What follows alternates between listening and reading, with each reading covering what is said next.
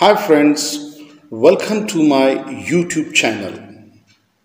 This is 1.4 Be Smart lesson for SSC student. So Learn with Dinesh is the name of my channel. Hope you enjoy this session.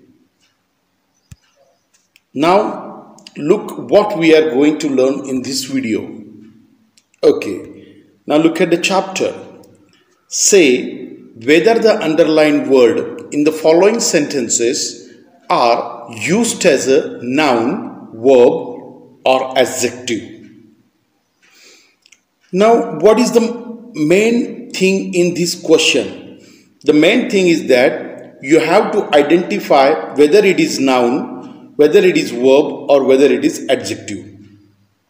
The word is same, the spelling is same but the position of the word and the function of the word is different. But how is it happen? Now look at the example. Okay. The first sentence a. I read i walk to school every day. Now the underlined word is walk here. And it along come along with i that means after the subject it comes. So walk indicates you the action of walking. So that is why walk, work here or function here as a verb. So write down it as a verb. This by reading this sentence we understand the function of the underlined word. Now look at the second sentence. This is the B sentence. I go for a walk every day. Now, in this sentence, walk is also mentioned and it comes along with for a walk. That means this is a group of word that comes along with walk. Now, in this sentence, the subject is I and the go is verb. So that is why Walk is not working as a verb in this sentence. So the main part, the main important part of the sentence is here. We understand the function of the walk. So if you think for a while and then decide what is the function of this word. Okay, it works as a noun it works as a noun. Because it is not a verb it is a type of exercise that people do in their life in gym. Or okay.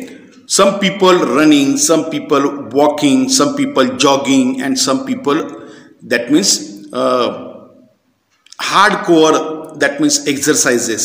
So we find here the function of the walk the spelling is same the pronunciation is same everything is same but their function is different. So that is why you should understand by reading the sentence carefully and then decide what is the function of the word. Now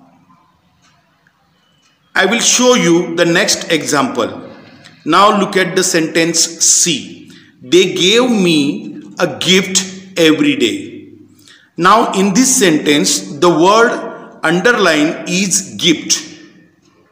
Okay and it work as a noun. In this sentence it work as a noun because it comes or preceded preceding word is here me. So that is why it is a noun. Now look at the D sentence. You can gift her a story book. Now in this sentence, gift comes along with the modal auxiliary verb can and preceded by the subject you. So that is why it works as a action word and it is a verb. It is a verb. Now look at the next word. It was sold as a gift pack. Okay. Now it was sold as a gift pack. if you read the sentence carefully and understand what is the function of gift, the gift is described here the word packet. That means how is the pack? How is the pack? It's a gift pack. It's a gift pack. So that is why it is an adjective. It is an adjective. So friends, in this way you can understand their function and then write down the answers.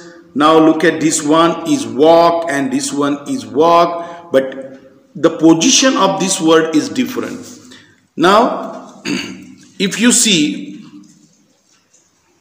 if you see the words gift, in this sentence, this one is gift and this one is gift and this one is gift. The position of the word is different, the spelling is same, the pronunciation is same, but their function is different. In the first sentence, it function as a noun. In the second sentence, is function as a gift.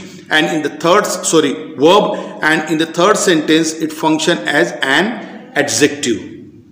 So, I hope you understand the function of the word in a different position and it is depend on the content of the sentence.